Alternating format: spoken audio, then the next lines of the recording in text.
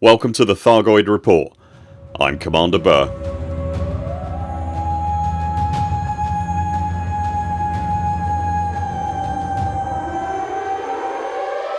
This is a weekly breakdown of the ongoing conflict with the Cone Sector Danger Daffodils and a guide to how you can get involved and make a difference.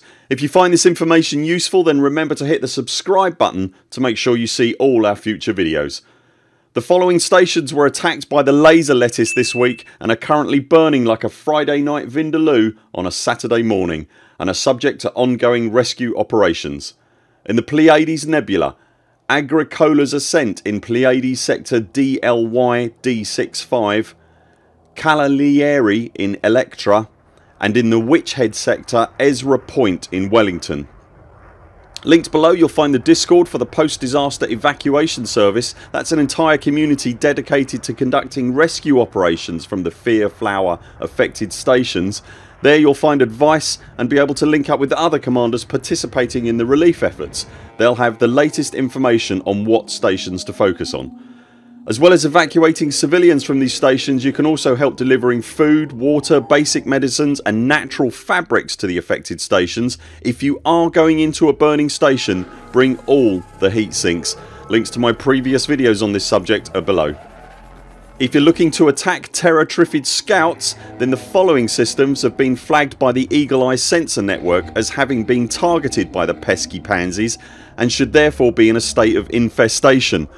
Pleiades sector HRW D141, HR1183, Taygeta, HIP 16813, Lembass and Evangelis. If you are engaging in scout combat operations you don't necessarily need specialised equipment but the entry level anti-Xeno weaponry requires no unlocking and it really helps. It's worth noting that the scout class vessels count as elite ranked ships so this is an excellent way to level up your combat rank. For the more hardcore combat zone encounters the following systems are under Danger Daffodil incursion right now and will have combat zones that feature scouts as well as the larger interceptor class vessels. Pleiades sector DLY D65 Electra Wellington for the scouts and the death daisies I'd recommend decontamination limpets are added to your standard arsenal and you might want to think about taking shed loads of heat sinks as well. The cone sector critters will struggle to track you when you're cold. With the assistance of the AXI discord all the systems I've listed this week are now presented in priority order. If you're looking to wing up with other commanders then you'll find a link below to the discord server for the AXI. They're a really friendly bunch and whatever your level of competence they'll help you fight bugs. Wherever you go commanders remember pick your fights with care. If you want to get involved with repair efforts and help get damaged stations back online then head over to the Operation IDA discord.